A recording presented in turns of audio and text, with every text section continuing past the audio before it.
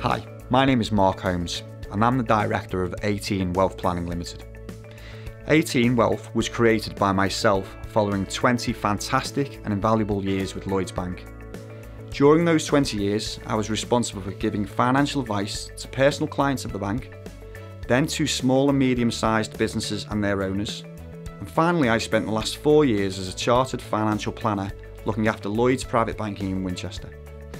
Over the last 25 years, there's been a significant reduction in regulated financial advisors, and this has led to a real and growing advice gap.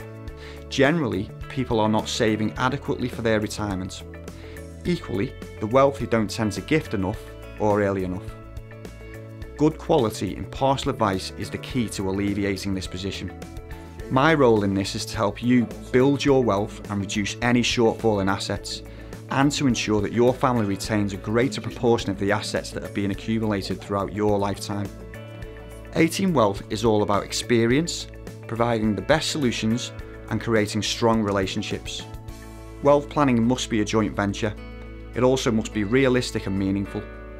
How confident are you in the planning that you have in place? Independent and impartial advice means that 18 Wealth can make a real difference.